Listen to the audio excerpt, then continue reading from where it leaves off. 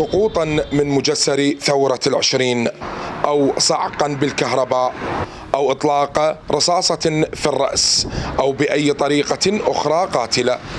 النجف الأشرف تدخل قائمة المدن الأعلى انتحارا بين سكانها. 45 حالة انتحار سجلتها المحافظة العام الماضي وثمان حالات خلال النصف الأول من العام الحالي بحسب دائرة صحة النجف بينما وبحسب مصادر أمنية وصحفية محلية. في الأسبوع الأخير من شهر نيسان الماضي سجلت المدينة المقدسة سبع حالات انتحار خلال أربعة أيام فقط بينما خمس حالات في 48 ساعة. عام 2022 بالضبط اللي وصلت لنا حالات محاولة انتحار اللي استقبلتها ردهات طوارئ في مستشفياتنا. في المحافظة تقريبا 45 حالة. منهم من وصل متوفي إلى ردهات الطوارئ في المستشفيات ومنهم من تم آه، معالجته وإسعافه وتم إجراء اللازم وأخرجوا متحسنين.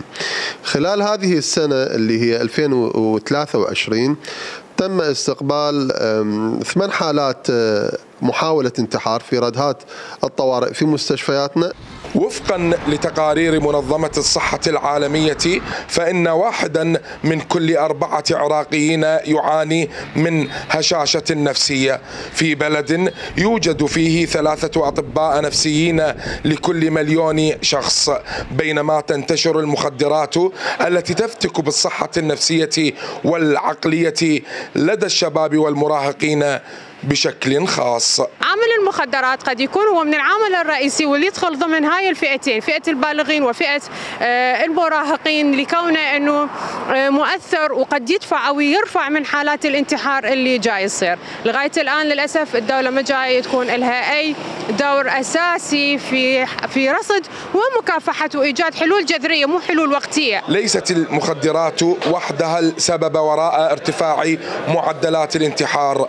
فالأسباب الأسباب الاقتصادية والاجتماعية والأمنية وسلسلة الحروب والحصار ما زالت آثارها تفتك بالمجتمع وتدفع بالشباب إلى حافات الموت. بينما تسجل النجف أعلى معدلات انتحار بين سكانها فإن العراق منذ عام 2015 وثق رسميا 4855 حالة انتحار ليظل واحدا من أكثر البلدان خطرا على صحة سكانه النفسية والعقلية.